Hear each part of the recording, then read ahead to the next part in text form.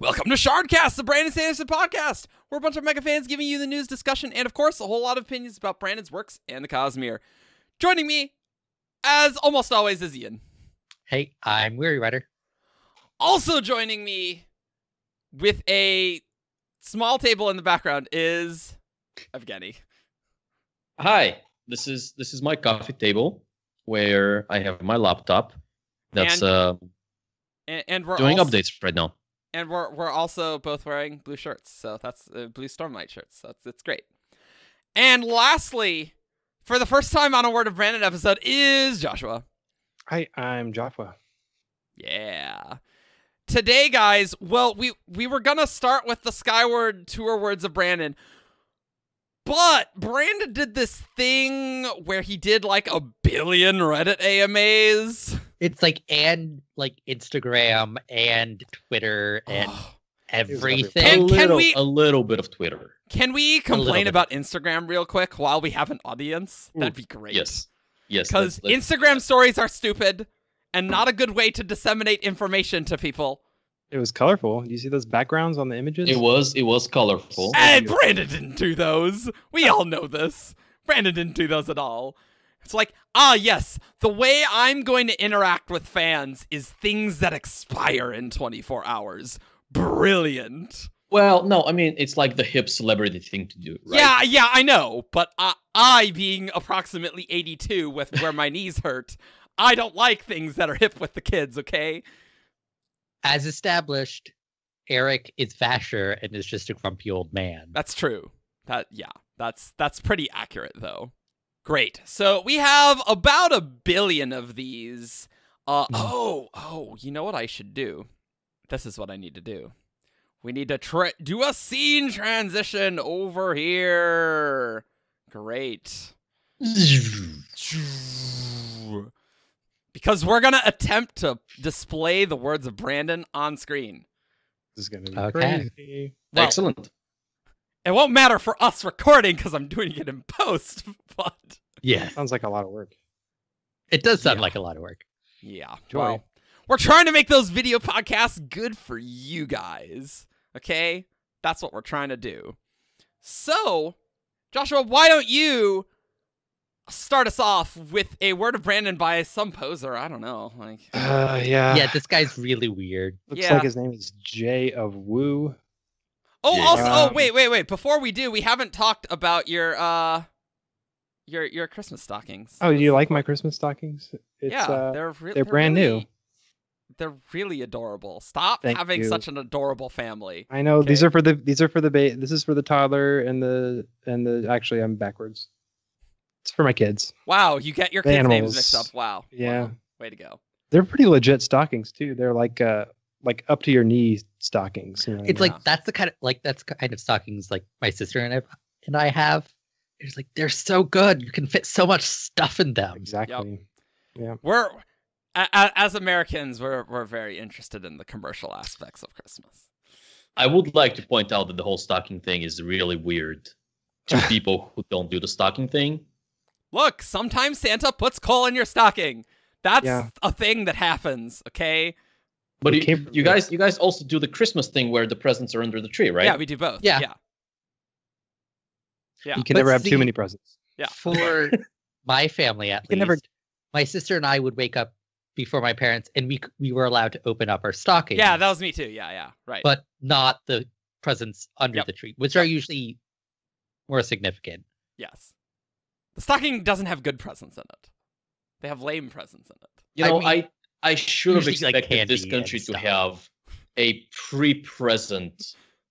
Look, Present. that's so the parents can sleep in past like early o'clock when the kids are excited about Christmas. There, there is a logic to that. He just doesn't like giving presents to people. Yeah, he's just mean and he he's a Grinch. Uh, theoretically, this podcast will be out uh, the week of Christmas, but uh, you know, thing things might be adjusted. Um, so this is my question. This is okay. So this is the Skyward pre-release AMA, and I was trying to like get a Cosmere question in uh, without sounding completely off topic, and so uh, I asked. getting Uh, a Cosmere question in. yeah, well, A lot of people ask Cosmere questions, as we Yeah. quickly realized. After Yeah, turns out, turns out, if the book is not out and you're doing an AMA for it, you can't ask Yeah. that many questions about the book. Yeah. No matter how many sample chapters you give. Yeah. Yeah. So I said, um, any thoughts on whether Scadrian spaceships might have AI on board? Um, and Brandon says, um, AI in the Cosmere will be an important topic I'll address in the future.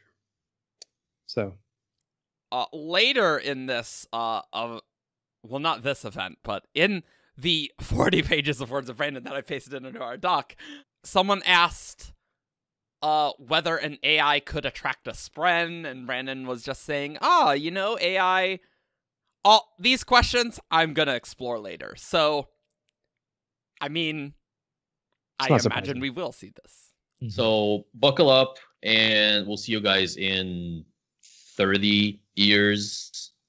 will kelsier go to the virtual world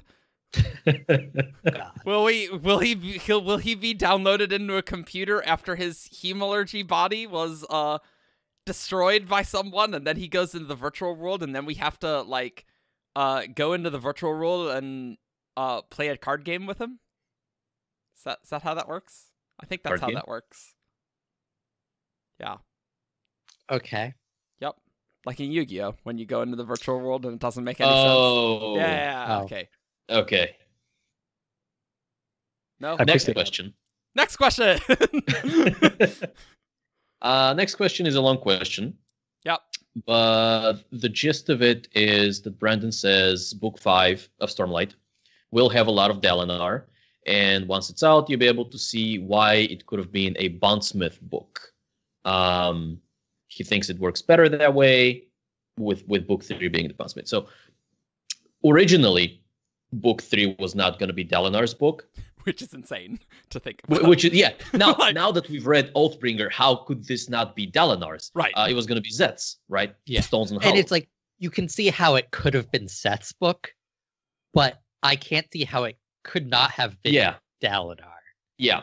Uh, and so Brandon did some shuffling around, and Dalinar obviously became book three, and Szeth is now book five.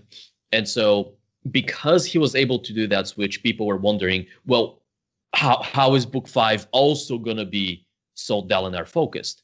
And and that's what Brandon is addressing here. That that's when Um, Dalinar unites every planet, and not just the three realms, but all the planets come together, and then he really unites every. Uh, no, no, okay, Black hole. yeah, and makes a black hole, and then and then something, kicks some- Odium. something, something Vivenna. yeah, it's kind of- Yeah. Yeah, Um, and uh, later on in, in the question, Brandon continues to say that now that book four may see less of him as he steps back a little, uh, like each of the characters do every now and then, but book five has him as a focus again. yeah, Which we did see him take a step back in Words of Radiance. quite a big There- step back. Yeah, Yeah, so I, I kind of like that symmetry. It's like ah, book two and book four less Dalinar, the odd number ones more Dalinar. sure. So this next question is by like some complete pleb named Argent Sun. Argent Suni? Ar- Argentina, Yeah, Argentina. the Argentina. son, the son of Argentina. Yes. also known as the guy who just win. Yep. When was Silverlight founded relative to the stories of the currently published books? Brandon. Silverlight is much earl- earlier than the current books, at least in its very first form. So we're talking like Oathbringer style, like that. That's that's when our anchor is here. I guess. Yeah, Yeah. that, yeah. for Uh, Stormlight, Stormlight, uh, Era Two, that kind of Yeah. That's kind of interesting though that it's so much older. You know. And not only is it so much older, it has gone through, I it, at least in my head, like major iterations. So it could have started off as just a settlement, and now it could be like a full blown, Sure. if not city, then a then a, like a university campus. Yeah. Although the universities of Silverlight are not the only feature of Silverlight. Yeah. Silverlight. So probably both. Yeah, it, it's New York City when it was New Amsterdam versus now, where it's sure, yeah. Yeah. a world metropolis. I think you mean a Shadesmar metro- metropolis, or oh, I'm sorry, Ian, a cognitive gonna realm say. metropolis. Shades Shades Tropolis. Sage Tropolis. What a mouthful. Ideas Okay. for you, Brandon. Just words for you. There is there is probably a play on word where you can take Metropolis and substitute one of these with something related. Metromar. to- Metromar. That just sounds like a Pokemon. No, What? Tremor. no.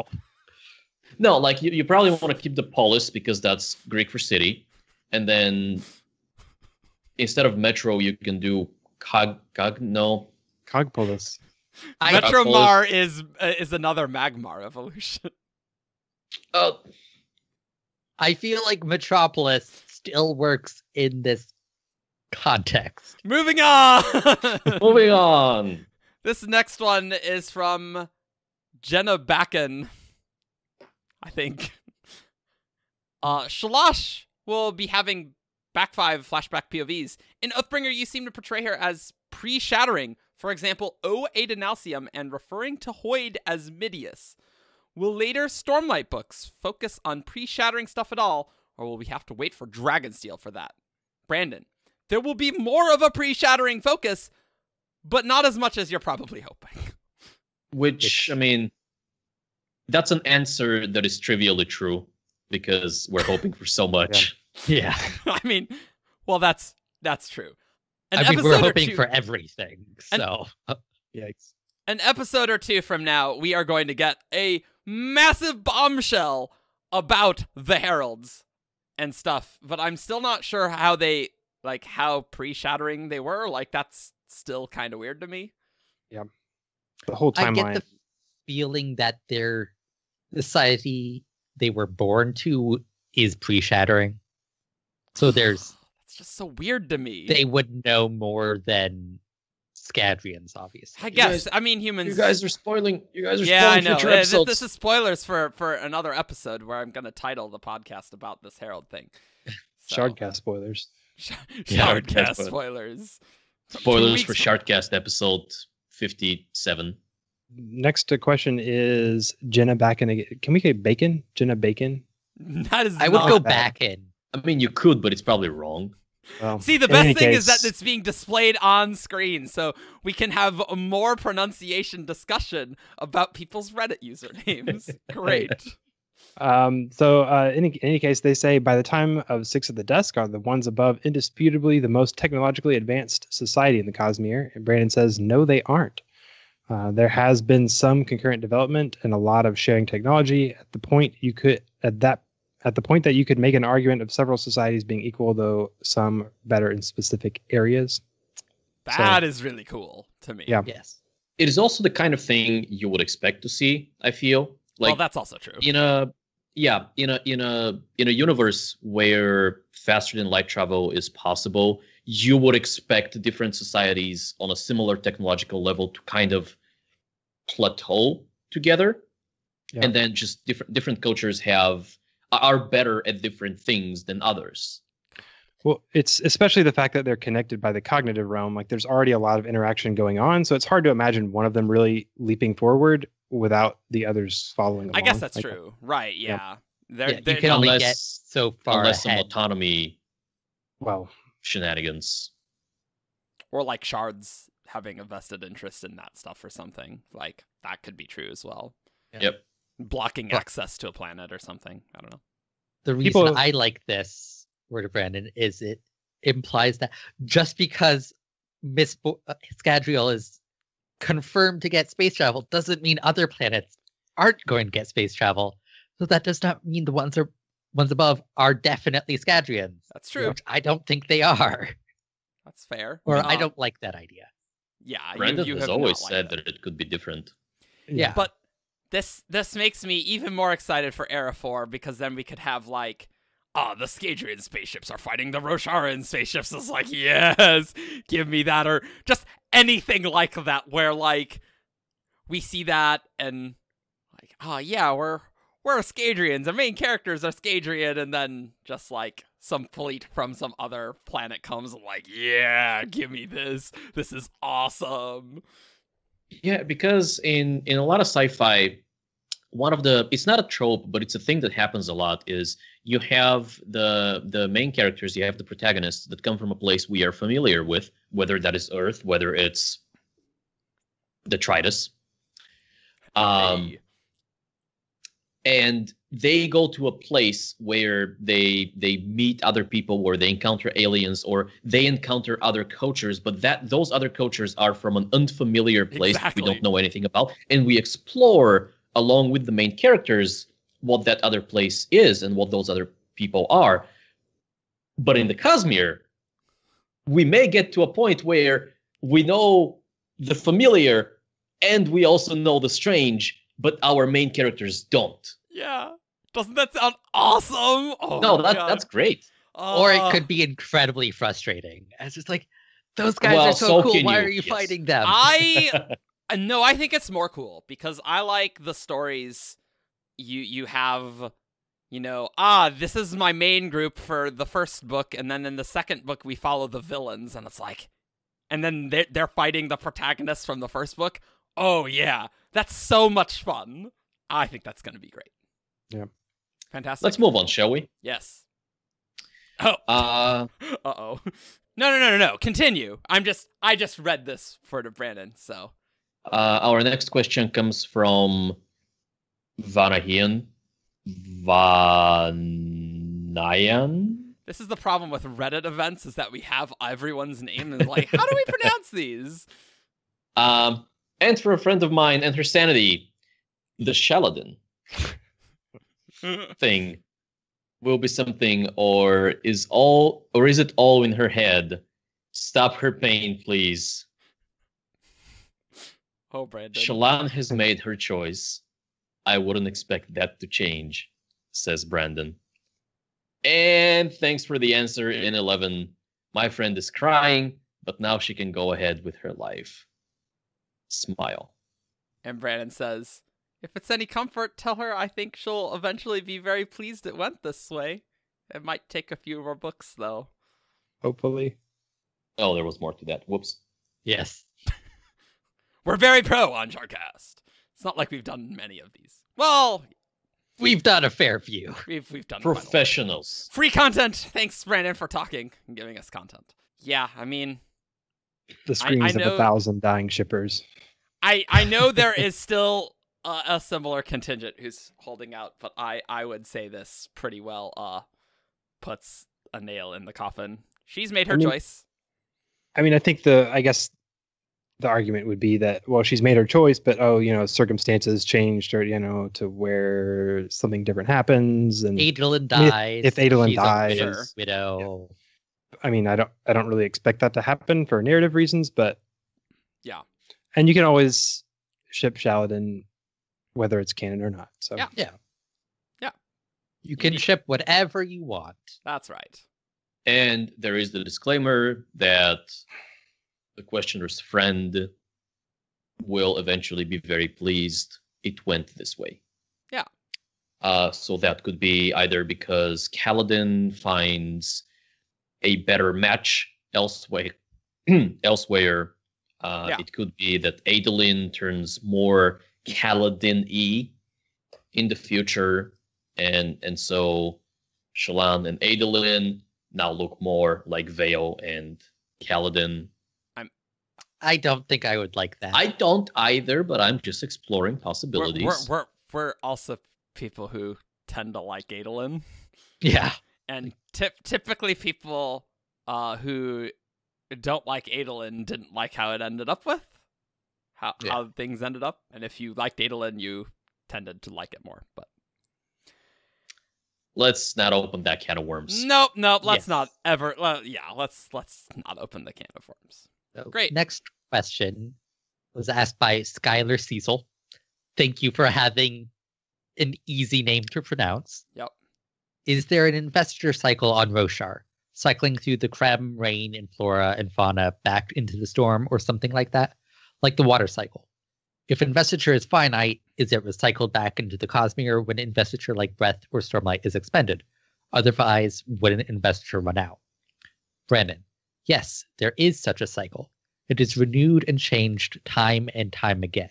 It gets in and out of the spiritual realm often with the birth of new individuals. I think that's cool. Mm-hmm. Yeah. It reaffirms a lot of things he said in the past. Yep. Mm-hmm. And makes sense with like, you know, the well renewing and ver- various things like that, like being the cycle. Yep. But often with the birth of new individuals is kind of neat. So, Yeah, I because the he's mentioned before that when a person is born, they draw in investiture to create their spirit web, their soul. Oh, right. Well, right. When a person is conceived. Okay, yes. Great. Let's just move on from that. another can of worms. We're No, the no. Brandon. Yeah. That's how it works Yeah. in the I Cosmere. know, I know, I know, I know. Turimbar97 asks, Will there ever be a point in your books where different or all types of investitures clash? Double question mark. What I mean, will there be a fight between people of different kinds of investiture, or will there be a team composed of such people? Brandon, yes, this will happen. Look for the future of the Cosmere to be about interaction of ideologies, magics, and settings. It's less about an Avenger style team up and more about the clash between cultures. Which I'm like, I'm in. That sounds Yeah. great.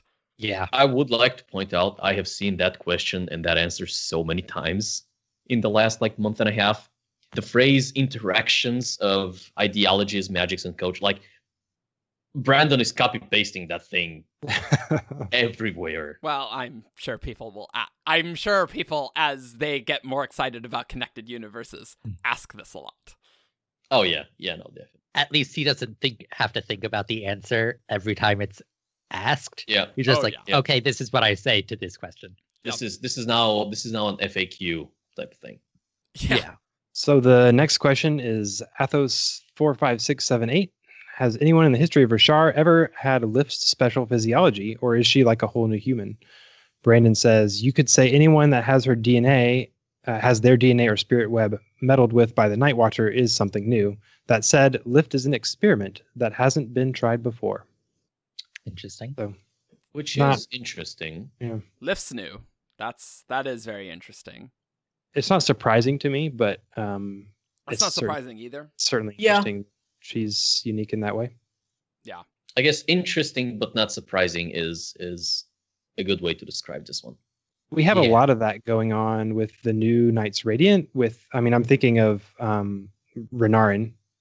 Um, Is a new thing. It seems it seems like there's a lot of with the coming of the Everstorm, which is also a yeah. new thing. There's like a this is very different than all the previous desolations. and I would That's agree. just one other way that it's like that. It is it is definitely a new age for Roshar. Yeah, and it obviously what they were doing before didn't work. So they do need to try something new to I- I eventually guess that's defeat. Odium. Yeah, they do. well, maybe don't enslave all the singers. That'd probably be a good start. Yes. Crazy. And on that note, moving on to the next question from SV15249 Good job. People. They're you don't need that many numbers. Venli is going to be a Welcome main to character. Shardcast criticizes your Reddit username. we we we love you guys. Hey, we started with mine, so That I mean Jay, that's true. cool. We and we do make fun of your name a lot. that's what we It's do. True.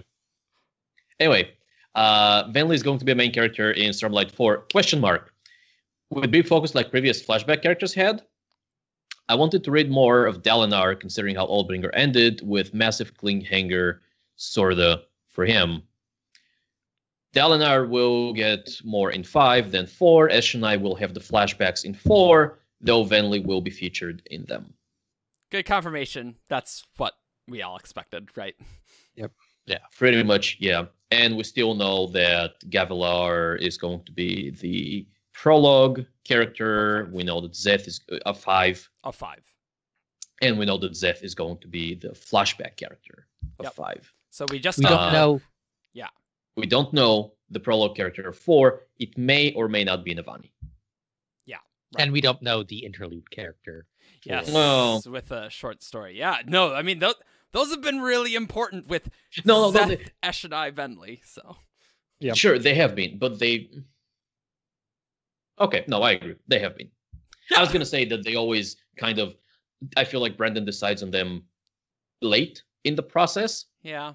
but the the recurring character is yeah, sorry, I, that's what I was referring to. The, much the, more important. the like the novella that was split among the interludes. That character. Yeah, the interlude through line. Yeah. Yep, yep, yep, yep. It'll be interesting with book five with interludes, though. Like, because usually that short story character in the interludes matters more in the next book. What do you do for book five when there's going to be a big time jump? You know? Uh, you take a herald. Sure. All right. Cool. I like that. I called it. So this next question is from Dammy Jerry. Does Dalinar know about Adonalsium? Stormfather dropped the term during one of their talks, so did he tell Dalinar the whole story of Shattering and Shards?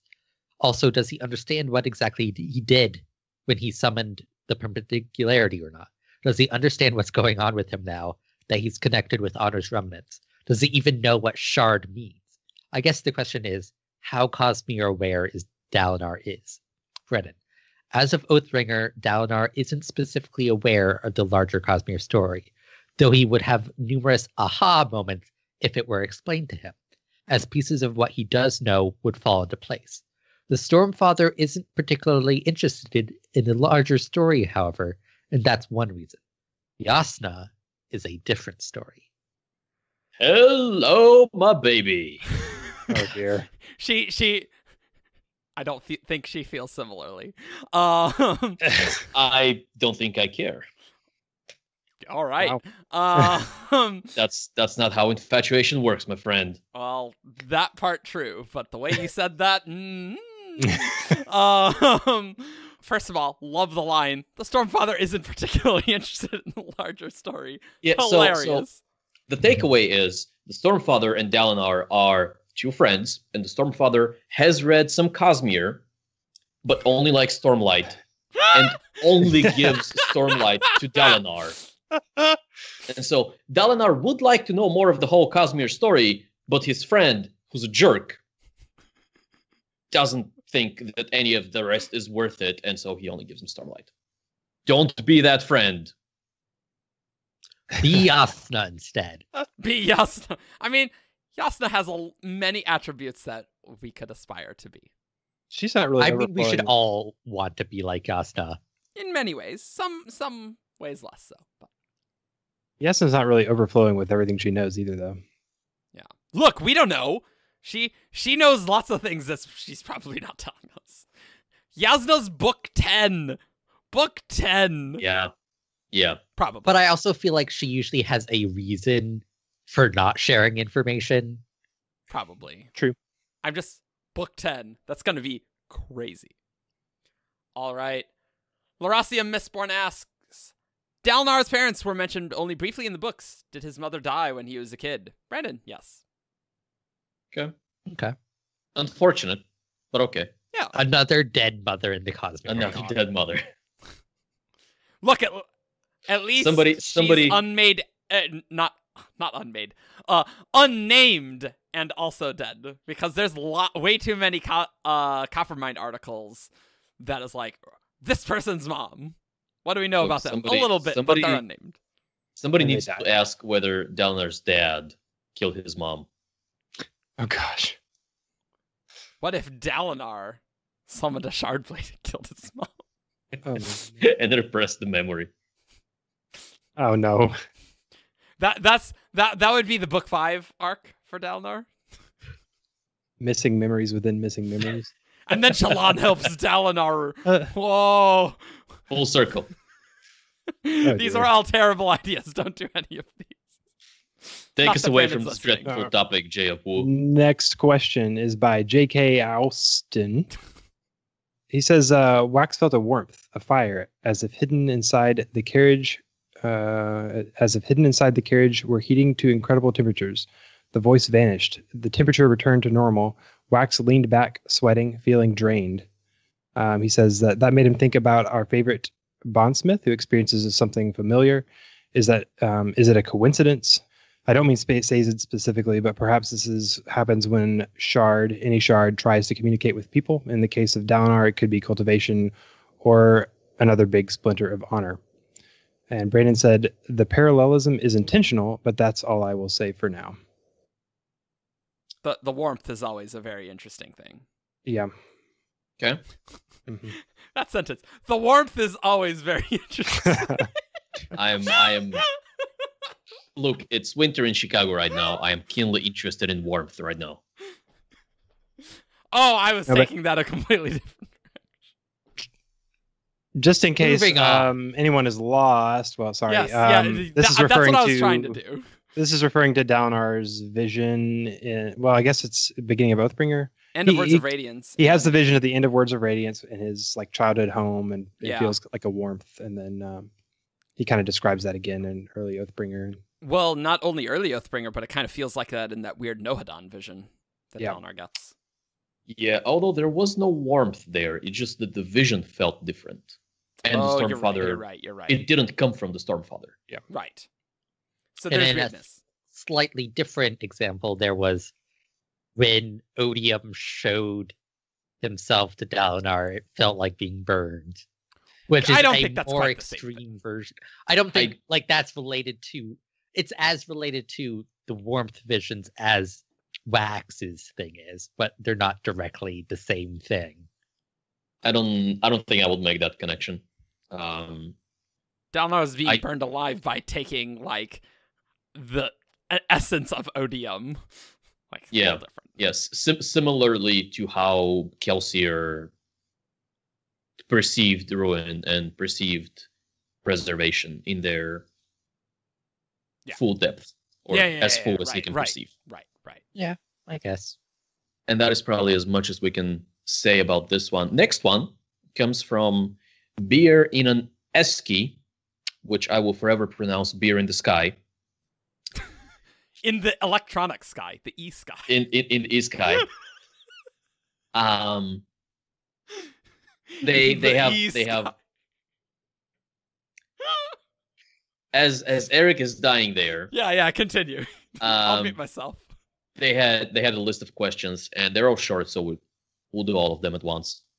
Question number one says: Is Ashyn still operating on a sickness-based magic as indicated in the readings you've done previously, or are you not ready to canonize that? Uh, and this is referring to Brandon's reading of the Silence Divine, Yep. which he's done. He's done like a chapter or a prologue or something. Yeah. yeah. And Brandon's answer is Ashyn still has that magic, though I've done a lot, I've gone a lot of directions on how I want the culture to feel, so I wouldn't consider that canon yet. Question number two Assuming it is, was the use of investiture on Ashyn always sickness based? No, says Yeah. Brandon, which Makes is really, sense. really interesting. Yes. I mean, makes sense, but really interesting. And finally, if someone who is sick on Ashyn leaves while still unwell, would they still have powers? How about any people they infect on a new world? To which Brandon says the powers come directly via microorganisms similar to other symbiotic relationships in the Cosmere. So that's just like Uh, six of the which- dusk. Yep. Sixth of the Dusk, um, the Nahel bonds are also symbiotic. Yeah, any yeah, any but- friend bond is also symbiotic. right, but like in this situation, via the microorganisms, that's Sixth of the Dusk. Yeah, yeah, Yeah. yeah, yeah, yeah, yeah. Yeah. Let's let's talk about that investiture use on Ashyn. Always sickness face. No, like No. yeah, let's Obviously, they had the surges. the surges. Yeah. Question mark. But on that note, like you like the powers you get from the sickness could have been the surge or some form of the surge. Like they could have been based on that. Yeah, it just feels like uh I, I guess the way I'm interpreting this to mean is that uh after the uh the expulsion from the Tranquiline Halls, you know, when people left The Exodus. Ashyn, the Exodus, that investiture use has just changed, and all that remains is the sickness-based magic. Yeah. Yeah. Yeah, no. I take it that way as well. But until Okay. this word of Brandon, we didn't know. Yeah, yeah, it right. could have been the other way as well, Yep. Sure, sure, sure, sure, sure. Right. hmm which is interesting. Which is really interesting. Very Oh, cool. It's also interesting because sicknesses aren't as prevalent on Roshar due to the ambient investiture. It's a nice Ah, sure. interplay there. It is. Yeah. Yeah. Every time somebody brings up Ashyn and the Silence Divine, I'm reminded of one of the Keteks in The Way of Kings. Yeah. Um, well, the the overarching Ketek, right above above Silence. Yeah, I, I- I don't remember the, the wording of the Ketek, but I asked Brandon about it because it never made sense to me.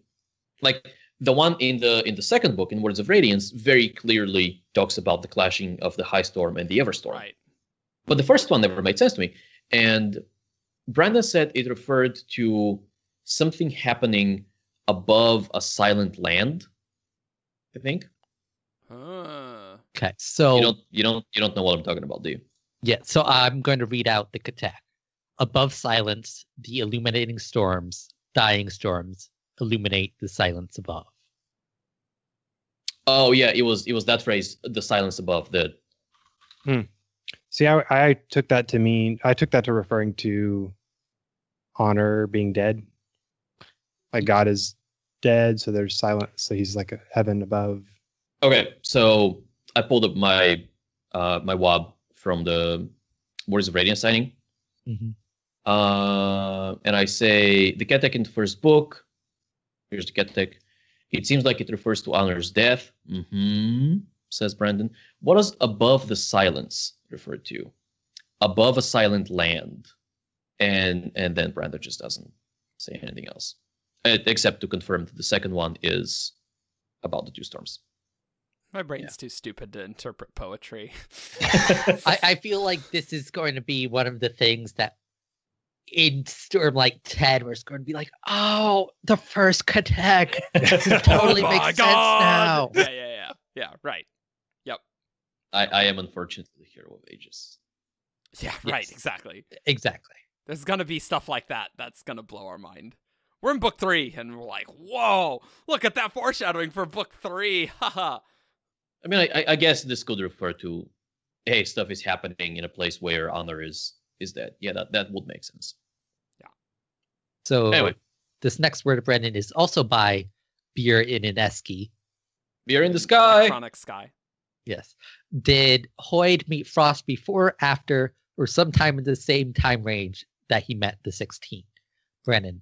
Before, but on a t- Cosmere scale, it was very close to when he met the others. Cool. Still, Good they to were in the same high school, and the other vessels they met in college. Sounds right. What? Moving on. Moving Moving on. Page Runner asks, "Do you have a start working title for Stormlight 4?" Uh, and Brandon says that uh, he's had several working titles over the years, but the one that stuck around a while was the Song of Changes.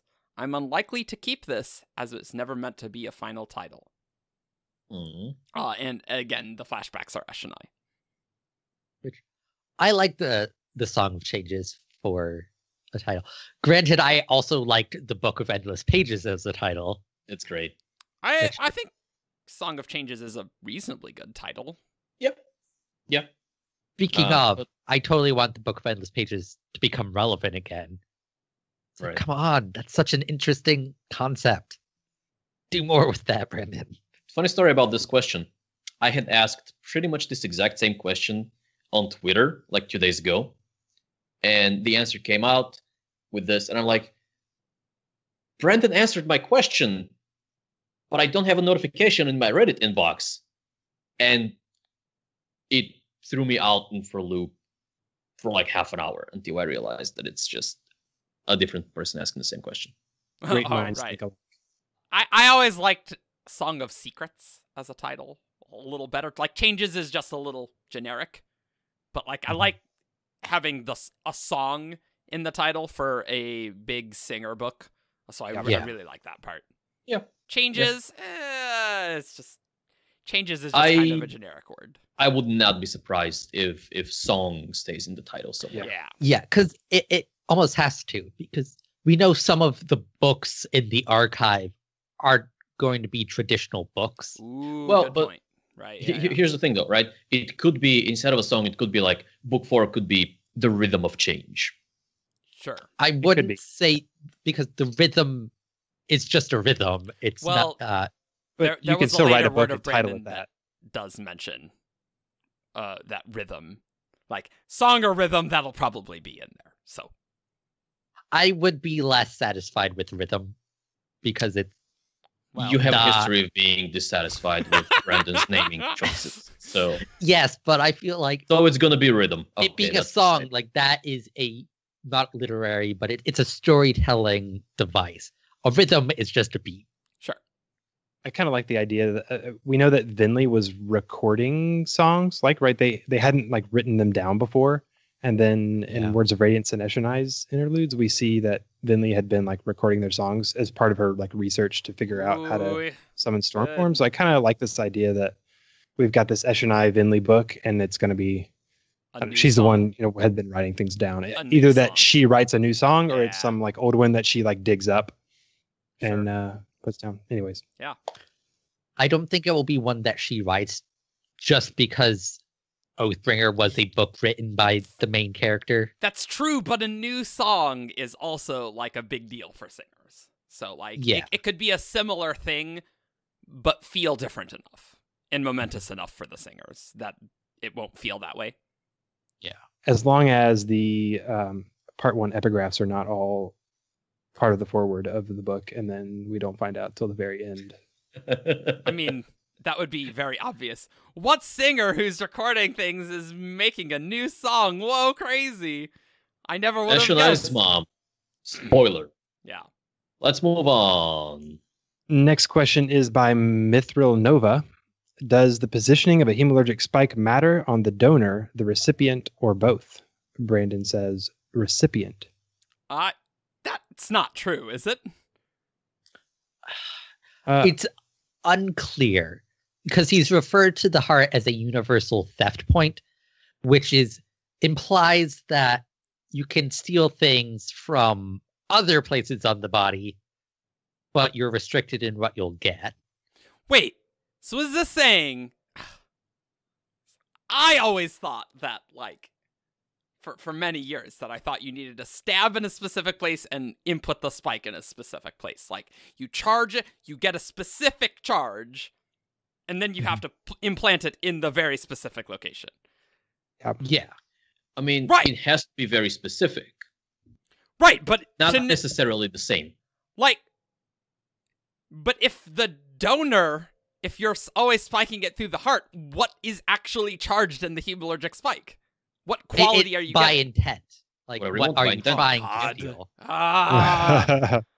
that it's Yep. just like, ah, yes, this was I I needed to just know that I needed to get the uh allomantic bronze rather than the latent preservation. God, that's infuriating.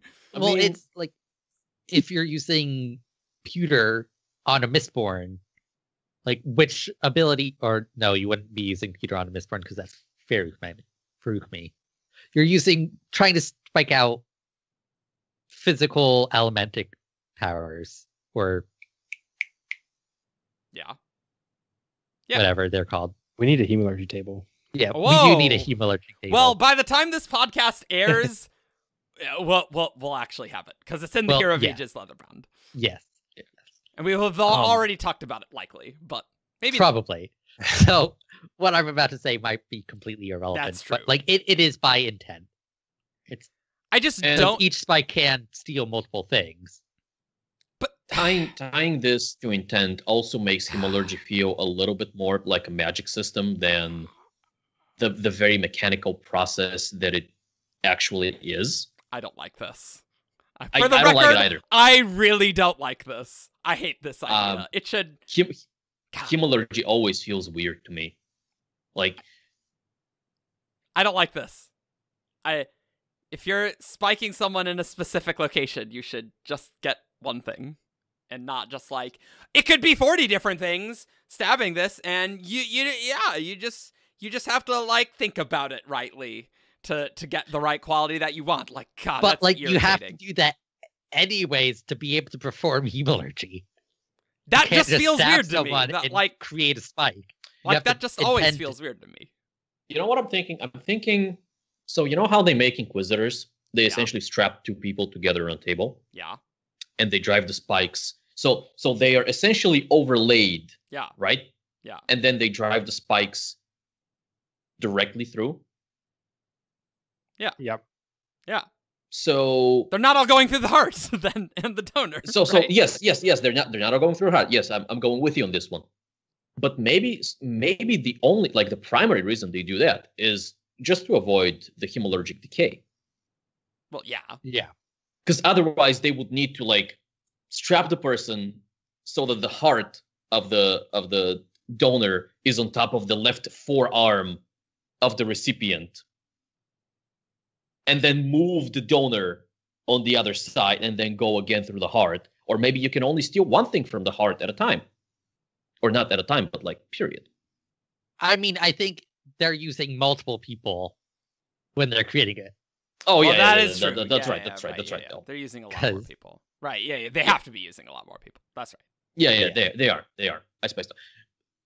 let's come back to this one after we talk We should probably go to stable. back to this one because this this will be completely dumb if we've already done a podcast on the hemalurgy table. Not that Yeah. that this will deal with the donor part. Well, you, you It might. know. No, it might. But if we are completely wrong, we'll just cut it out. Or we can just have the listeners, watchers talk, post in the comments about how wrong we are. Or always do that, but actually don't. so, regardless of whether there was a question before about him hemalurgy, Well, no, no, no. That question will always be there. It's just Oh. some part of it will be. Anyway, next question time. Uh, it comes from Squishy Mouth. Hey, easy to pronounce. I like it. And uh, and the question is, God metal alloys in Era One felt a bit like an unfulfilled promise. Can you tell us about the attributes stored in a metal mind made out of any Atium slash Lerasium alloy? No, not yet, says Brandon. This is something I intend to get into in Era 3, and I'm saving for it. Which that's interesting. I don't think That we knew that before. No, I don't think we know that before. That is a brand new piece of information about God metals. Mhm. And Uh, Era 3. especially yeah man era 2 is just gonna be the is the short book icing to the era 3 big mistborn book cakes like ah mm, mm, give me give me those long 200000 word mistborn books again the big ones Mm, Oh. Them them seven hundreds. Not not quite that long but uh also No, interesting they were about 700 pages. because like how much lost metal will we get in the lost metal for example which Yeah. atium's referred to as lost metal so it's probably about atium right Maybe, probably In- maybe. there's literally a pedestal where it says atium comma the lost metal Yes, I'm aware of that, and I'm also aware that Brandon is a trickster god. well that's true So it's Brandon has made comments in the past that like, oh, you can't get Atium or Lerasium anymore because Ati and Leras are dead, which Wow. I've always really hated. Well, is- Yeah, but he's also he's also said that Atium is going to come back in like 300 years. which Well- that's where we are. i thought it was more just a function of harmony not that they're dead but like harmony would You know- need to release that Brandon has said that like, oh, you can't have Atium anymore because Ati is dead. That is literally a word of Brandon that he has said I- that I think is terrible and stupid. Because uh, if Atium is supposed to be the physical, solid embodiment of ruin, it shouldn't matter who the vessel is. I, I don't. I, I think you're maybe taking that a little too literally. Brandon makes mistakes sometimes. Like, Crazy. like We'll find out. It may be it may be interesting though to find out whether two vessels holding the same shard would produce god metals that are in any way different. well, I mean, we see that at metal is pretty different. No, I, he Okay. means like uh, if one person picks up ruin, they make if Ati picks up ruin, he makes Atium. If then someone else picks up ruin, they make something slightly different than Atium, even though it's the same shard. I think that's what you're saying. So, from the Shadows of Self release party, questioner: Before preservation locked up Ruin or whatever, or if Ruin had won, would Atium still exist? Brandon: There are timelines where there would be no Atium. Questioner: So, if Harmony exists, does Atium exist? Brandon: Atium does not exist because there is no Ati. There is, well, there is Atium left over from before, but questioner. So if it was only part of Ati's body and not part of Harmony's body, Brandon, there is no Atium. There is no preservation any longer. There is no Ati. Questioner. So does Harmony Harmonium exist? Brandon, there is no law, and there's no Ati. There's no ruin. Questioner. Does Harmony Harmonium exist then? Good question. Which that seems to heavily imply There's that other words of Brandon that it's just about a function of harmony, though. So Yeah. I'm just like I hate that word, Brandon, so much. again, re- release parties are really long. So Yes. like, eh, him saying Ati versus Ruin, like I'm not gonna get like super nitpicky with that, personally. Oh hey, this is nice for you, Ian. Yes, I get to read a word of Brandon by a smart, intelligent person. Eh, Named WeiryWriter. a really no, you- pedantic person. I don't know. I don't know. being pedantic does not being preclude being smart and interesting or whatever reading I, else I word. said. Well, I don't, I don't. Well, it might preclude interesting to many people. and those people are different what I like to call wrong. Oh, I see. Okay. So the preface to this question to make it vaguely related to Skyward. Spencer is a bloodthirsty individual, so I was going to ask a bloodthirsty Boo. question. Boo. Hemalurgic spikes lose power unless they are in a person's body or immersed in blood. Does that body need to be living or would a corpse suffice? If so, at what point in the decomposition process would the spikes cease to be protected? When they are no longer encased in flesh? Before? After? Brandon, I haven't put a spe- specific number or date on it, but I'd say as long as the blood itself would be viable if moved to a living body, it would work. Which I don't think it would be viable for very long, but I don't know for sure. I don't know. That's weird. If you're a doctor, comment below. Yes. If you know about blood, If you are well versed in hemalurgy. please tell us about uh, donors versus recipients. oh man, this next one from Colton X9.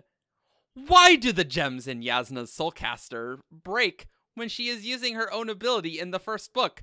Brandon, Jasnah is very good at fooling people. oh my god, this question. We had this question on Shardcast when we were talking about Fabrials and Soulcasters. Yeah. And we were like, but wait, but why would the gems break if the Soulcaster was fake? Is it is it stress? it's Is it just a heat lie, I guess. Okay, I'm a little confused actually because I've been looking at uh, some of this, some different uses of Stormlight lately, Uh-huh. and the scene it breaks is when she is um, soul casting the thieves in the back alley. Thieves. Yep. Yep. So who's sh- she's trying to fool Shallan? Maybe she just designed the gems to just break. That it was just kind of at of certain like, points. yeah, Because rather than it actually be a function of her drawing Stormlight, rather. Yeah. Or or she could be soul casting breaks into them. I mean, it would Um, be necessary to fool Shallan at that stage, right? Shallan breaks some gems as well, though. Now that I think about it, when she soul casts the boat in uh, the beginning of Words of Radiance, um, Oh. Yeah, she she hears the sound of of gems cracking. So I Which I don't know. I'm not sure. Yeah, it's I've never understood why people are so confused by this. It's just like, yeah, gems break when you soul cast. Like Yeah, but why didn't Brandon just say that then? because Brandon Maybe he likes forgot. Okay, toy you with say, you people say like breaks gems when you uh bre- breaks gems. Gems break when you soul cast. Is this a property of soul casting or is it a property of surge binding? Ian. I, I would say more property of sort um surge binding. Okay. I don't think we've seen any other Order of Radiance break gems, including Kaladin, who uses a ton of Stormlight. But is Uh, he using the same gems over and over and over and over again? I don't think so. No, I don't either. But I also don't know that he drains it as quickly. Like I think that soul casting is pretty unique in that it drains a lot of stormlight in a very short period of time. I don't know that Kaladin ever uses that much from a gem at once. Right? Yeah, that's I mean, also a good he- point. He from from a gem. Oh no, he he drains the gems first. Right. I don't know. I don't know either. It's interesting. I I'm just a little skeptical about. I'm This wondering one. if he. Yeah, you're no, but you're right. You're right. Like we're gonna we're gonna need to put together an essay that says, "Hey, Brandon, here are the 17 times people use Stormlight from gems directly, and these two times it breaks the gems." What's up? What's up? Next question is uh, by Devorian.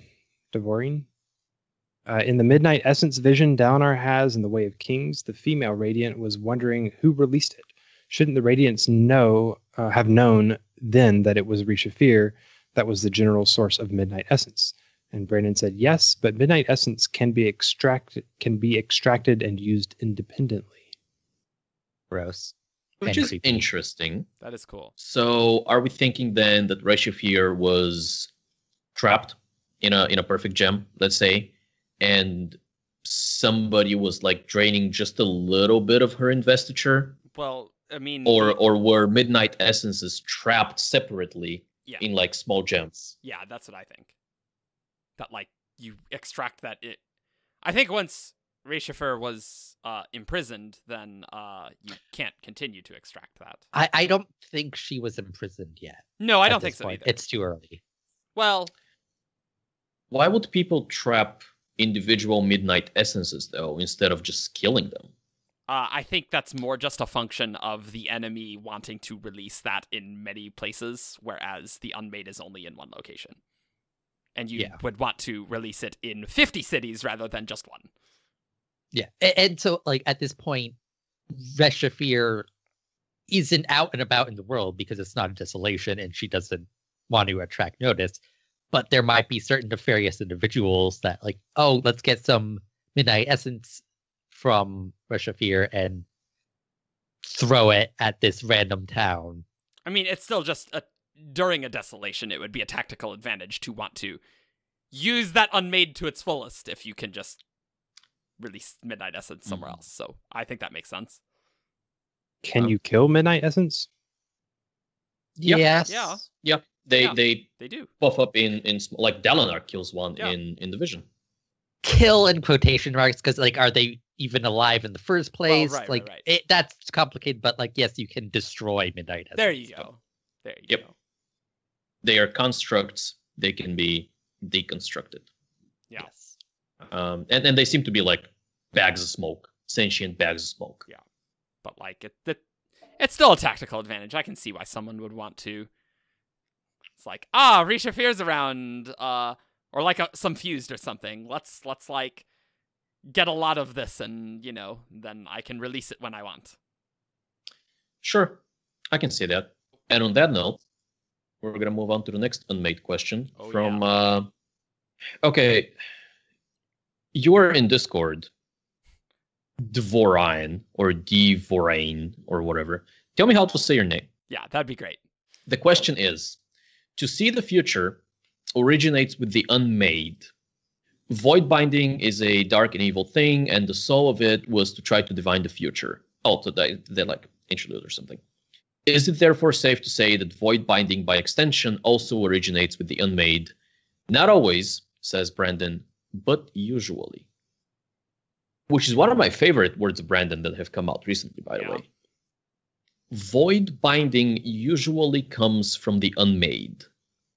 It makes sense because we see. Would we consider Amaram using the surges as void binding? That's from Yelig-nar. Guess I that's think at this point we have to. I guess yeah, this quote make would make that v- pretty explicit. Yeah. Yeah, and then Sja-anat corrupting Gliss, Yep. kind of giving void binding to Renarin. Yeah. I, I I would argue that Renarin's visions are straight void binding. Sure. And and his his progression is straight surge binding. or even by you know Mishram connecting to the Parsh giving them forms of Well, power. I feel like well, I feel like uh well, I would say that that's a little different, but we we The we don't know how extensive power- void binding is, you know. yeah. Yep. So next one is from MS07 MS-07B dash 3. Clearly a future Cosmere AI. Yep. Yes. it's noted in Oathbringer that Taln was the only herald who was not supposed to have been one, and he was not a king, general, scholar, or anyone special, as it were. So what occupation did he hold before becoming a herald? Brandon, he was a soldier and bodyguard. which makes a lot of sense. Makes sense. Sounds right. Yep. Cool to know. New fact. Yeah. Um, What if he was possibly Ash's bodyguard? I've seen that Yeah. proposed. Yeah. Oh, that's true. could be. Arimus asks, and lastly, a Cosmere point of contention. You've said before the Moon Scepter works as a Rosetta Stone. Is this literal, as in translating one Aon to its Mypon counterpart, or more metaphorical, i.e., allowing use of a Selish magic outside of its country? Brandon, the Moon Scepter does not unlock regional use of a magic, but those who wanted it believed it was a vital step in figuring this out. It's more the first, but has implications for the second. Okay. Okay. So it's not just magic thing that does stuff. There's more to the process. it's it's more like a dictionary. It's like a Rosetta Stone. Well, okay, yeah, yeah. Fair. Yeah, but it doesn't unlock it for nothing, you know. Yeah. It, it takes more work than just okay, these two symbols mean the same thing, Yep. Right. It's a, it's a key. It's a key. but there's more to it than that. Yep. So uh, the next question is uh, Page Runner, and he um, this is kind of a long question here, but he um, basically he says, uh, Brandon, you've given us um, a few clues about unknown shards over the years. One that wants to hide and survive, one that's not on a planet but not ambition, one that Hoid would have taken, and one that would have been used for a Rhythmatist. Um, and he kind of asks, are basically are these are any of these referring to the same one? Are they all four di- different ones that you're referring to? Uh, Brandon says, I'll tell you this: those aren't necessarily four different shards, but I do have a RAFO um, for which one Hoid might have taken. So So nothing really new, except that they are not necessarily for a different shard. Yeah. I completely Yeah. forgot though that uh, there was a shard that was going to be for the rhythmatist that uh, and that shard we have not seen yet. Yep. Yep. Well, with Although the was sequel to the Cosmere. Rhythmatist, Right. Yeah. The sequel to the Rhythmatist, mm, Brandon says might give us clues onto what that shard would have oh, been. that's right. Oh, that's another big reason why we should ask for the rhythmatist sequel. Oh, good point. Thanks. I you're mean, people right. ask for it as much as they ask for Stormlight, so Well, Uh, yeah. More. It's Oh. his most requested book.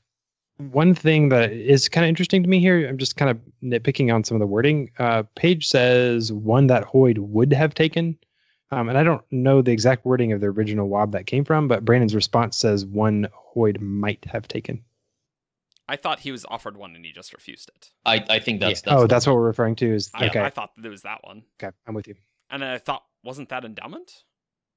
we don't uh, know. I, Oh, I I- think endowment is the one he would be most likely to take. Oh, right, Yep. yeah. But he was offered one and refused one. It wasn't that he was offered endowment. Yeah. Yep. Right. Okay. Okay. Great. Good. And we then move on to a question from Zuberzub S.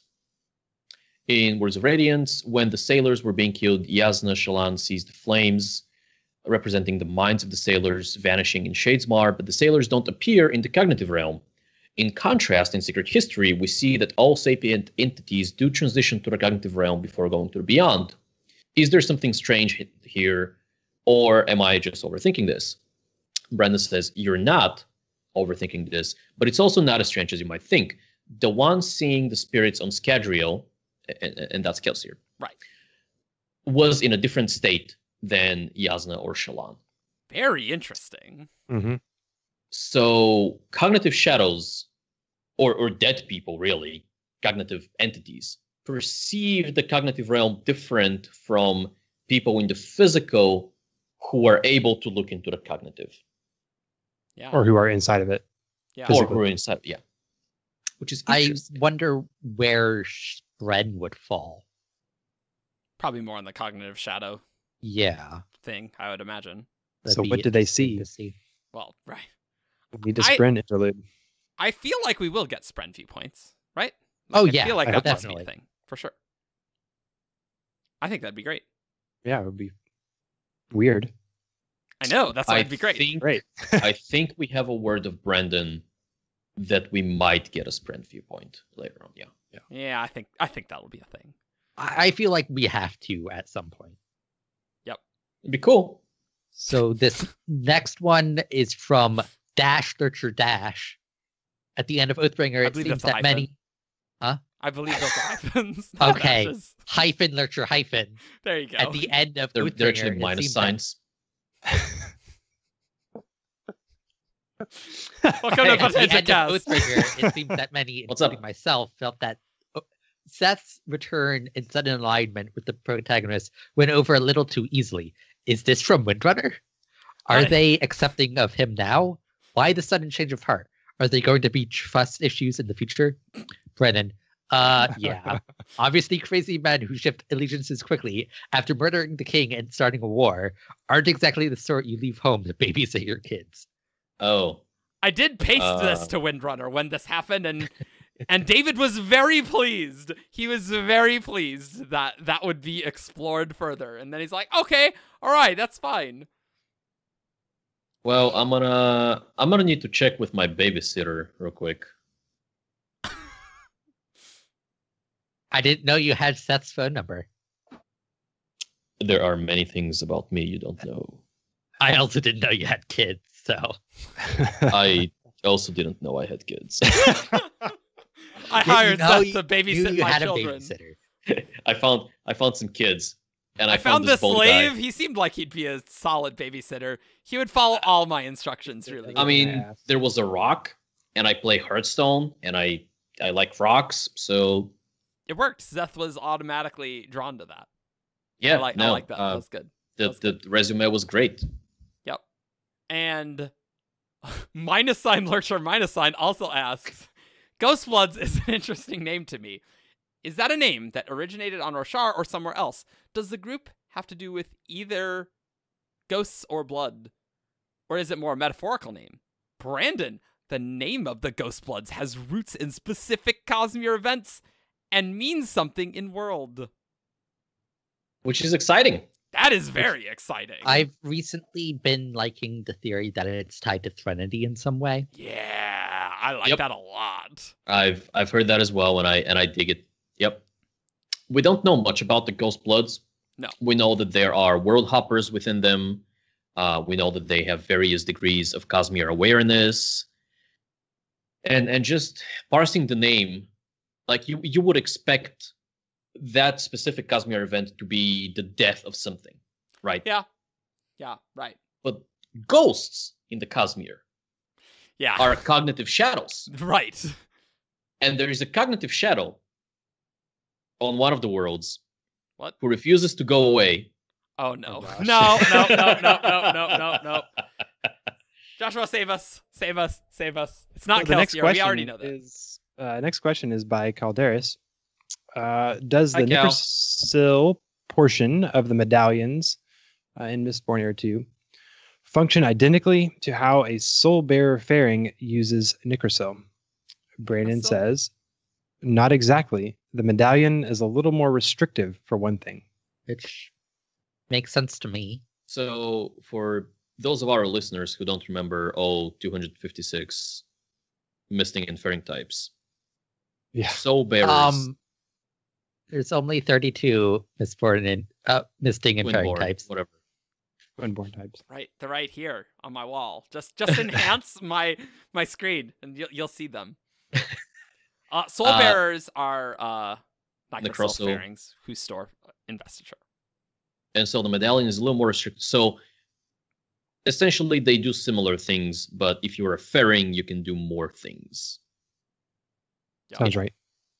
I guess another way to uh, another comparison I can make is if you are a windrunner, there are multiple ways you can you can utilize uh, gravitation and adhesion. Adhesion. But if you are a fab, if you're using a fabrial, that makes use of gravitation, there is a only one use of that Probably, surge. yeah. Mhm. So I, I think the relationship here is very similar. Yes, yes, yes. yes. I would agree. Yes, though. Getting back to our Fabrials. Nope, discussion, nope, I nope. don't. Moving on, moving on. Don't care. Don't care. We, we've heard it before. But like, okay, but I I do think this makes sense because it is like we know there are things called exercise excisers involved Yes. in the construction of these medallions, so it, it makes sense that they should be more restrictive. Yep, that is all of the the many, many, many, many, many words of Brandon from that one. We're we're only picking a exciting subset. You can go look at all of these on Arcanum at wob.coppermind.net. We do we have, have, how many? 300 and there was 361, yeah, uh, of them. Yeah.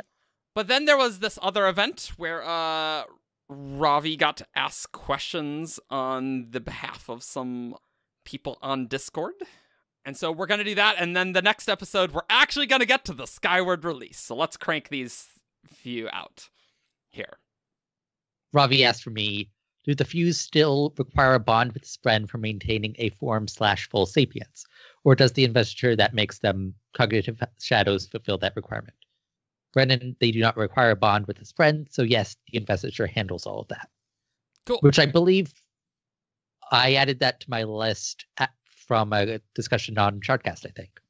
Probably. Because I is this is this coming from a place where well singers without a spren are kind of dumb so they need investiture Mhm. but the Fused don't have a spren Yeah. that's the that's the direction you were following Okay. well, I was wondering like, do they have a Spren? oh okay okay right Which they don't.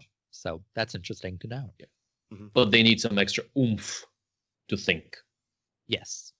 Lady Lameness asks You've said that Tien was beginning to bond a cryptic before he died. Did he use surge binding before he died, even unconsciously? If yes, did we ever see it on screen? Brandon, he was far enough along to start having some of the. Let's just say he was far enough along to sworn at least one oath. Truth. Sad. Well, no oath. Uh, first ideal. Oh, First ideal is an oath. yeah, Is yeah, it- right, right. And all the rest are truths.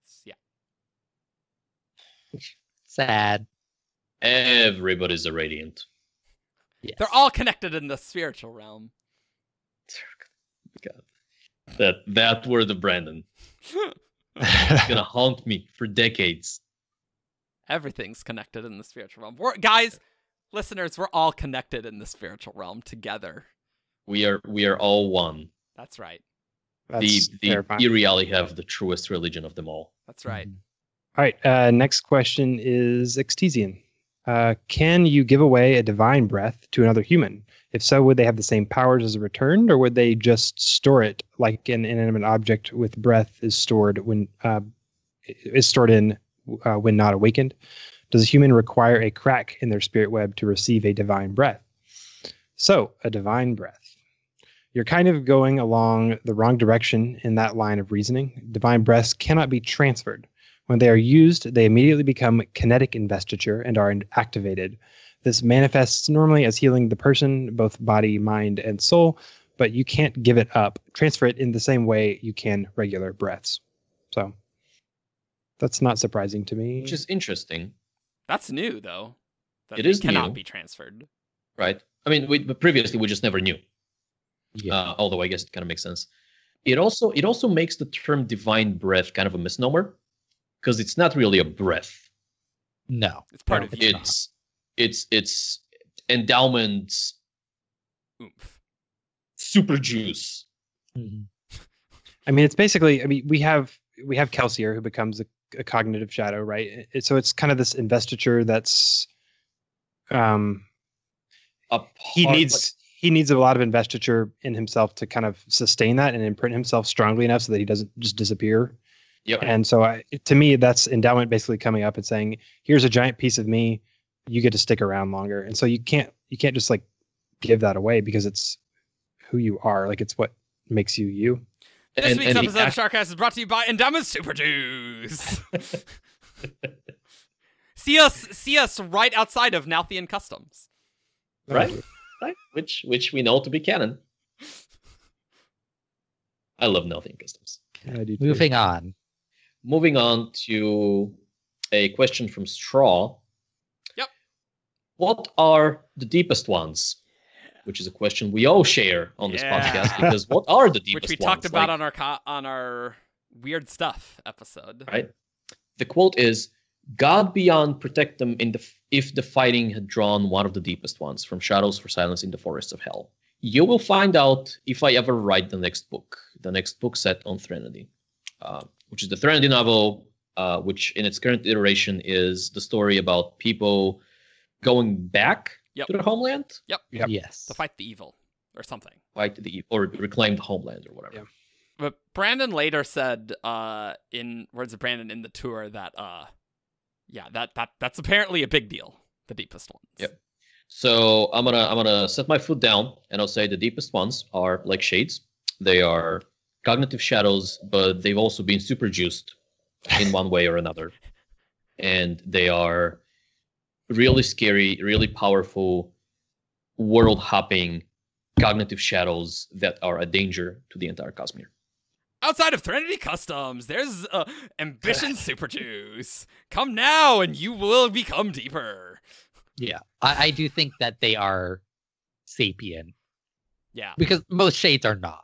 Right. Which is Ooh, unusual. yeah, that's true. Sure. Seemingly true. unusual for cognitive shadows. but- Yeah, that is true. And I will say that the Ire are potentially concerned about one of them showing up in their little fortress next to Scadrial. Did yeah. they say that And- about the deepest one specifically? Oh, Not, No, not they the just deepest one. said No, Threnodite. yeah, I no, like they, that. they, uh, yeah, they said Threnodites. That's They they refer to the sh- like cognitive shadows from Threnody or something, right? I guess that's Mhm. true. I assumed it was a shade. Yeah, that me they too. were- That's very cool. That's very cool. I like that. So shades, they're gonna be a big deal. I'm calling it 2018. Deepest ones, big deal. Some some Mistborn Era 4 lottery. Okay, so technically this is not from the Skype Q&A. Oh no, you're that right. was the last one of the Skype Q&A. Oh, you're right. You're right. You're right. You're right. This was from uh the. It was Oh, the Great Worldcon? American Read. That one. Oh, Great American Reads. Yeah, okay. yeah, oh, that was hmm. Yeah. Right. Uh, so this questioner asks, other other shards other than odium cul- cultivation can take physical form, right? Brandon, yes. Are there any shards that can't? Brandon, no. Could ruin have taken physical form in the Well of Ascension? Brandon, so yes. What it what it really counts to be physical for someone like a shard is subject to debate, but he could have done some of the things that others have done. There were certain restrictions on both ruin and preservation because of the deal they had set up that would not have made doing that very useful. But there is possibility he could have, Hmm. which is interesting. That is very interesting. I am always very interested about shards manifesting because I feel like if you have divine power and a ridiculous amount of investiture, possessing some animal to talk for you is really like pretty low hanging fruit for gods. I don't know. Or like like why do you have to go through the hemalurgic crap to talk to someone? I don't know. It feels like that should be easy, right? But it's not. It it's just straight up not for Or uh, just Miss- create vibrations in the air. right exactly like I, that doesn't take that much energy to do right Tell me, tell me if there's something that Brandon said about this, but it makes me wonder if the the whole um the fact that they have these limitations on how they can communicate is related to the deal they made with each other that he refers to here, and not just not just like a part of their inherent nature. Like I always assumed, like oh, Ruin can like only like uh, he could talk to people with metal in them, and that's just it, but he can't do these other things. Is that not like his nature? Maybe that's just part of the I deal they made is restricted it him is to his nature. It, I yeah, because Brandon has said that Harmony can do both because he has both. right right Uh, Brandon has also talked about this in I don't know about events, but in the annotations at least, um, and also in in in the book itself, right? Um, preservation is preservation can't insert stuff into people's souls, and and stuff also means sound, voice, because it is it is so it is when Vin ascends and she tries to talk to people and Ruin's like haha no you can't do that your power tries to you, you can't insert yourselves in people's souls because your power tries to shore up those cracks. Only I can talk to people because my power is is inherently divisive. Hmm. There's also a phallic metaphor that Brandon makes in the annotations about the Ruin's power and spikes, but Yeah, but like manifesting physically is just a very interesting thing. Mhm. And what restrictions shards have? How did the deal prevent them? What? could have been in the in the TOS. There there fine is print. some other stuff later, uh, not specifically about the deal on how Brandon is just like kind of cagey about some Era 1 stuff. It's like, what? But but but why? I think we're not done with Era One. Secret History Part 2. The secreter history, S- Secret secret harder. history, Secret Secret- secreter. secret geology. So I'm I'm very interested to know about this because I have never understood why it's so hard for shards to manifest sometimes. It doesn't make sense to me. No. I mean, ruin and preservation. Okay, if their deal had a had a, a, a bullet point in the TOS, fine. Endowment doesn't seem to have much interest in manifesting. Well, Odium to at least has trouble manifesting because he is bound and and maybe invested in Braize, and so manifesting and on worried about a counterattack from cultivation. Sure, yeah. Uh, Honor has trouble manifesting because he did. Cultivation had no issues. Cultivation was right there. Well, that was also again a, a center of her power. Yeah. In the valley. Yeah, So, and, and so that could be wh- what I'm getting at is it is not necessarily that shards have a hard time manifest. Like the only time we see shards have a difficulty is in Scadrial. Mm-hmm. And In in in the absence of an otherwise pretty good explanation, such as Odie. yeah, and when Leras's preservation does manifest in Hero of Ages, There's not much. it opens him up to attack from Ruin. I guess that's true. Yeah. I guess that's true. yeah. True. And so for our last one for today, this questioner is asking about Szeth Sword and specifically Nightblood. And Brandon says, "Yeah, yeah, we'll we'll we'll talk more about Nightblood eventually." And the questioner asks, "Does that sword have a character arc?" Brandon, the sword is important and relevant to multiple series. And Brandon also says uh, about Nightblood, he's learned some things in the intervening years. He learns real, real slowly. Which At least that- he's learning. Which is good to know. Yeah. It's good that he's learning. That's good. yeah he's not he's not completely stuck in in his inception stage Yep. Yep. Maybe Shashar is actually dead to, to him now. unlikely Great. So, the that, that was pretty good. There, there was some good, interesting stuff. Yeah. But the real spicy stuff happens in the main Skyward Q and A, or Skyward Words of Brandon, which, guys, we, it- I, I hope we can get it in three episodes. We are we are on page 12 of Well, 40 and also everything's not transcribed yet. So there's Yes, some, yeah. there's some new uh, Houston and Atlanta stuff that's not in this document. So you you might get a lot of them, but we're we're gonna we're we're being choosy. It's not like you know the Idaho Falls Words of Brandon where it's like ah you know that's kind of interesting that's cool. No, why- we're we're trying to pick like really cool things, and so if Yeah. you ask something and it wasn't included here, that doesn't mean your question wasn't great. It's just trying to keep it educational for Cosmere stuff or really exciting Cosmere stuff. Basically. although it could have been just not a great question you might be bad at questions Also true. Also true, potentially, but uh you said that and not me. So great. So it is time for who's that Cosmere character? All right, guys. You know the game. You send five clues to who's that Cosmere character at gmail.com, also with an answer. That'd be great. Uh, and we read them off. Uh, and after each clue, each of our contestants gets a guess. And uh, the first one who guesses gets all the glory, which statistically speaking is Ian. So, great.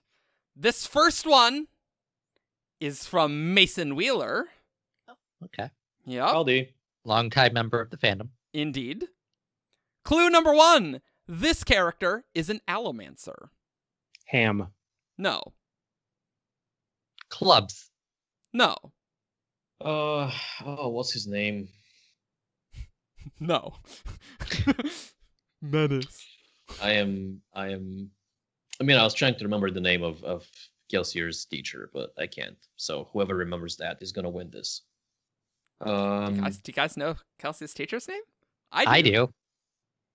Do, do you want to well, I am I am a hundred percent blanking out on on all Mistborn things. I mean, there's a lot of Allomancers. You should be able to think of at least one. That's true. Well, but I'm I'm thinking of specific ones and I can't remember the names. Okay. Um Aurian. No. Clue two. This character helped Kelsier. Gemmel. Demoux. no. No. Deceived you. Gemmel was a good guess though. I like I like Yeah. Gemmel. Debated helped Kelsier. Hmm. Hmm. I mean Spook. No. Clue three. This character was not a member of Kelsier's crew. Oh, I could have used that information earlier. I know, that's why it's clue three. Now, by this, do we think his crew in the Final Empire, or his crew before, or Mayor. no. I was thinking Mayor. Was Mare an Allomancer? Tonight. Yeah, Oh yeah, yeah, right. right, of course. there was someone else with them when they broke into the Kredik Shaw, and I think he was an Allomancer, but I have no idea what his name is. Mayor? That is literally what jofwu just said. Oh, I thought you were talking about the mayor in book three. No. Yeah. Also, that person Yeah. has a name, and it's not Mayor. Well, no, but he is he was a mayor. Yeah, no. yes, I- but we city. would have accepted that as No. a guess. no, it is not Mayor for the second time, Evgeni. If we if we if we ask long enough. Oh, Mennis. No, it's not. It's Gemmel. No. Kelsier. No. Spook. Ham. To be fair, would Kelsier be considered a part of Kelsier's crew? Yes. Kelsier has helped himself. it's not Kelsier though. I Yes, would the- hope. Uh, Hoid. It is Oh. Nice. It is Hoid. Clue number four is this character makes a somewhat dubious claim of land ownership. And clue five, this character is a friend of Wayne's. dang it. Good on you. How does he help Kelsier? Uh, gives information as an informant. Yeah. in the Oh, First book. okay. I was thinking secret history. I know, I know, I know. He did, Hoid wasn't quite helpful in that in that specific situation. He provided a much needed beating. Yeah. I mean, that was, I mean, was necessary Yes, for Kelsier's self-esteem. All right, this next one is from Colton X9, who we read a word of Brandon from. Uh, we did. earlier. Clue number one: This character is a twin. Wikim. No, Jushu. no. Are they twins? yes. I don't remember. Oh, they are. They're, uh, Okay. Fraternal. Yeah, didn't we talk? Yeah, we talked. Oh about yeah, this. yeah, yeah. I am just being stupid today. It's so hard for me to not make stupid guesses, even though I know the answer. Because I just want to troll you guys with stupid answers. But I should really I- just shut up. feel like there's not that many twins in the Cosmere. Yes, but I also literally can't think of any. Yeah. It's like we got Wikim, we got Jushu.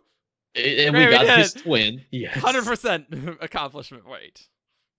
Is this is this gonna be some some twin sisters that somebody made a claim to have slept with?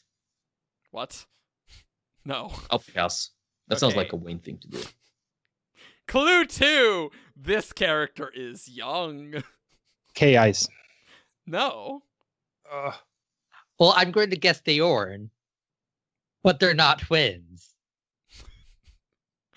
no, it is not Dayon. I thought okay, we good. I thought we figured they are. No, they're called twins, but they're not actually twins. Do we know that? This was deba- I think we debated over this and we disagreed. I think, Probably. I think we did. When did that happen? This is on Discord. It's on Oh. Discord. Yeah. Probably probably one of those keeper chat things that's like we get into heated arguments about nothing important.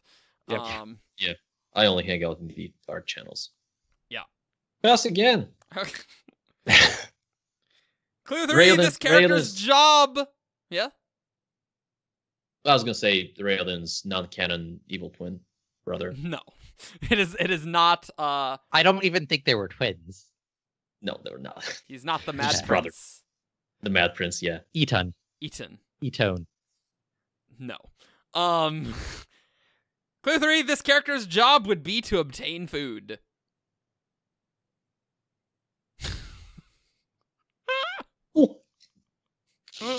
Looking at Evgeni's face just get progressively more and more confused is wonderful. And now you can follow along, dear listener, I know. Dear watcher. I'm just gonna lean back. Thrilling. Um yeah, I, This is the quality trying to think if- you want. the um the only thing I can th- is there a twin in Hearthstone? Nope. I can think of some Hearthstone cards that are twins, but uh, not not Cosmere characters. I think I'm gonna have to skip. I, Ian. I'm gonna skip two. All right. Clue four: This character converted to Vorinism. oh, Nope. You're blanking out. Yes. that face. that face. It's just like, mm, I know the character, but what's their name? Is that that face? uh, yes, I know exactly who it is, but I don't know the name. Who is it? It's, I mean, it's. I don't want to. They're not. they're All not- right. All right. All right. It's it's It's a it's it's it's one of Rock's children. No. It's the male. It's a Oh. boy. Um. They're not twins, though, are they? Yeah, there's two of them are twins. As opposed to three of them being twins. Well, okay. this is the hard hitting analysis Um, you get on Shardcast. is like, yeah, there's two twins. Whoa, crazy. Vex. I'm- I'm going to guess Rock, the other Rock. the Little Rock. no. I thought the Little Rock was a girl. Ugh. Well, I it's not. uh, it's It is not, not beautiful Rock. song. This beautiful song is A the daughter. Yes, it is not beautiful song. I don't remember the names of his children. um, Are they? Dang it. Okay, I'm I'm gonna Okay. give Ins- clue five. This is one of Lunamor's sons. Excellent. Which- Fantastic. I know. Which uh I'm very tempted to give it to you, Joshua. But I would give it. All to right. them. You you you have identified which character it is. That character's name is Gift. Gift. Mm, What was the clue? What? What was clue five? Did you read clue five? Yeah, that's Yeah. Lunamor's Oh, son. that was clue five. Oh, Lunamor's son was the clue. yeah, that was the clue. Yeah, that's not helpful. well, if you hadn't have twigged on that in clue four, then it's then that would have been helpful. You just had Yep. figured that out already, That's Yeah. right? That's true. That was an excellent one. That and and I'll give that to you because it's not like Gift had much screen time, so Yeah. that's About acceptable. about a paragraph. yeah. So that that's Yeah. He helped. Uh, he helped give out water. He did. Yep. Yeah. That's the. Yeah. All right, guys. Well, we hope you enjoyed listening to this episode of Shardcast, where uh, Evgeni continues to be shrouded in darkness on video due to his lighting. like literally, you need to like get a light, dude. Well, so here's the thing, right? My monitor actually plays a huge role in this. Yeah. No, I figured. Yeah. Right. yeah, I know. My, mine too. Yeah. Right.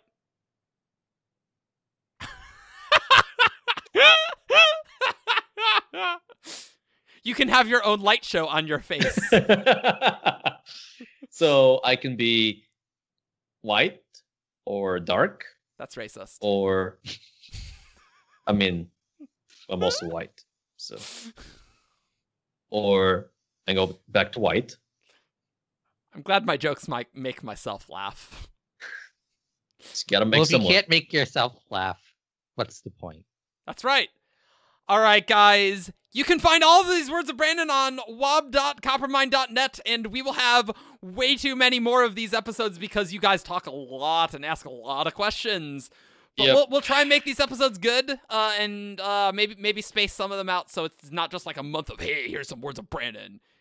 Get three of them in a You're row. gonna be you're gonna be listening to us in in February when we do part four of Ah, that is Could possible. yeah, that that might be possible, but yeah, it, it might just be all of January. Maybe we'll we'll see. We'll I, see. I exaggerate only mildly. yeah, we're we're we're recording this much earlier than when this will air. So It is it is now July.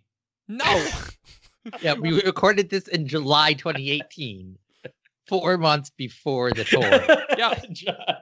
five months before the tour. he he's just doing Christmas in July. It's the thing. to some do. of us some of us haven't taken Look, your down your our kids are Christmas young. They don't know. Also, a month from now, this foil map will be No one can see it because you're shrouded in darkness. All right, guys. Well, follow us on 17thshard.com for all your news, discussion, theories, and fun. Everything you need. Come join our Discord. Uh, follow us on Facebook, SoundCloud, Twitter. That's not the right order. Whatever. Subscribe on YouTube where you can see our faces. And leave us a review on iTunes. And we will see you all next time. Bye. Unite them Merry Christmas. in Oh. July In July. if you're in Australia. I mean, Yeah, Australians still celebrate Christmas at Christmas time. It's just summer. yeah. I know that sounds weird, but the southern hemisphere is weird, okay? That's They're how back. Yeah, so, so there's no limit to how weird they can be. That's true. I've heard that Santa comes in on a surfboard. If you are one I've of our heard that's Australian thing. viewers, tell us how does Santa deliver things in Australia? In speedos. Yikes! Okay, let's end to it. see that. All right, we're ending it there. we'll see you all next time. Thanks for that wonderful image.